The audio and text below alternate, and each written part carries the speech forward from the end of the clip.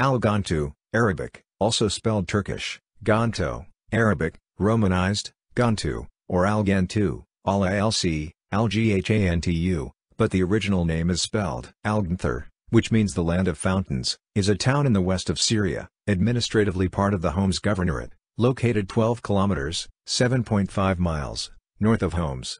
Nearby towns include Talbiseh to the northeast and Teldou further to the northwest. According to the Central Bureau of Statistics, CBS, Al-Ghantu had a population of 9,412 in 2004. Its inhabitants are predominantly Sunni Muslims, many of whom are Turkmens. Most of its residents work in agriculture, and many farmers specialize in vegetables such as lettuce, cabbage, tomatoes, carrots, peppers and others.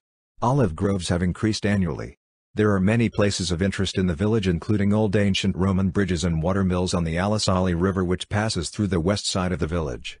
Citation needed. On June 11, 2012, anti-government fighters from the Free Syrian Army, FSA, attacked the small military airbase situated in Al-Ghantu, as part of the ongoing 2011-2012 Syrian uprising against President Bashar al-Assad.